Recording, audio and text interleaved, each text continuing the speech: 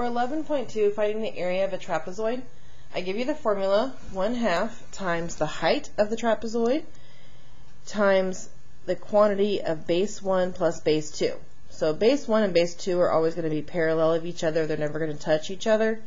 Um, and it doesn't really matter how you add them. You can add the top plus the bottom or bottom plus the top. It's going to be the same thing.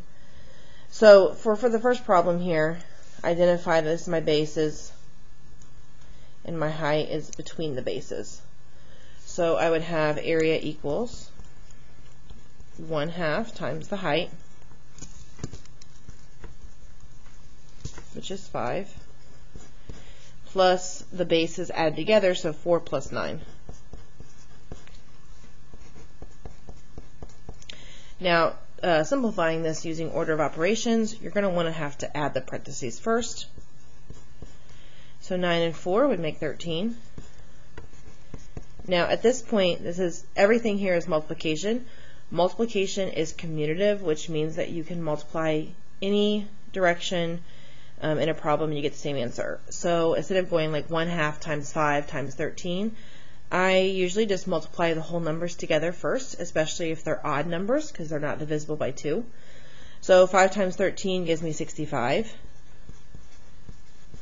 And then I take half of that and I get 32.5. Uh, the directions have nothing up here for letter A about rounding, so I'm just going to leave it 32.5. Okay, in part B, um, we're given some extra information.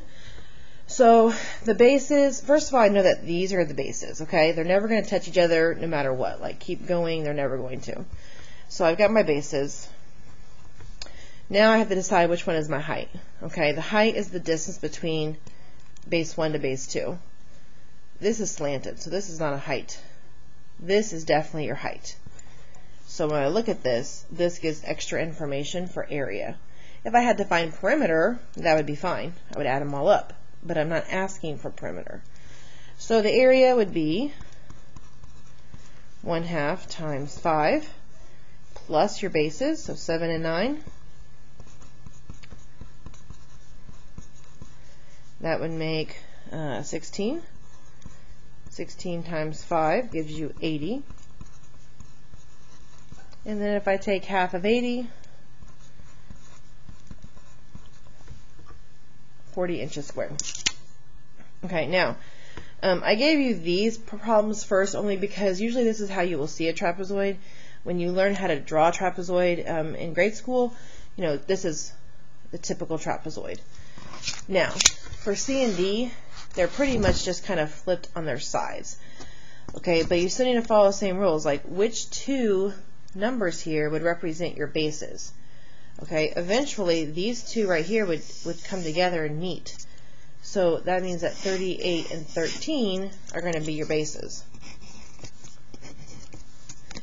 Your height has to be the distance between the two bases, so that's going to be this right here, leaving this to be extra.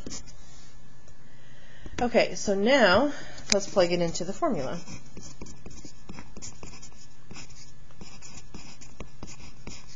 So there's your height, and then we have to add your bases.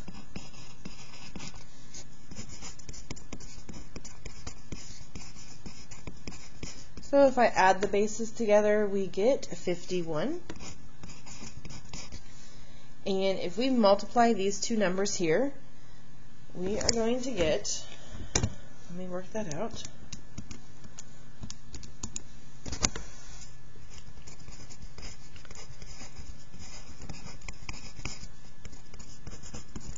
This number here, 1,667.7, we divide that in half, and we get 833.85.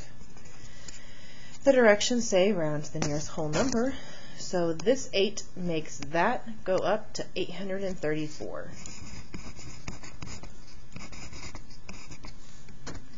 Okay, for the last problem of the notes today, we have um, basically one that looks like this. It's just been turned on its side. So I got your bases, your height, extra.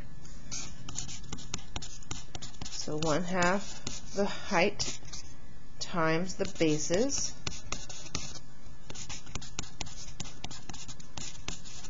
So that would make 20. Yep, and then if I multiply 5 and 20, that gives us 100. And if we take half of 100, we would get 50 millimeters squared. Okay. Oops, sorry. Right. Hopefully today was a simple day.